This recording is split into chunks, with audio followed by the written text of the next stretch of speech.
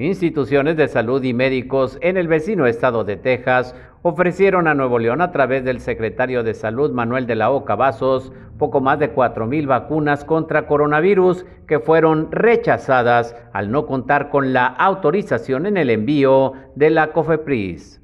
He platicado con algunos compañeros y también algunos directores de hospitales de allá que me dicen, Manuel, tenemos vacunas que podemos ofrecer a Nuevo León. Y, pues no son muchas y he preguntado cuántas, pues son tres mil, cuatro mil. Y yo les digo pues adelante, mándame las vacunas y, y se las aplicamos aquí a los nuevo leoneses, pero no es permitido, no está aprobado por la COFEPRIS,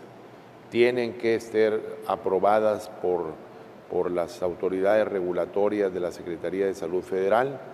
y hoy nadie puede comprar vacunas ni, ni importar vacunas más que el gobierno federal.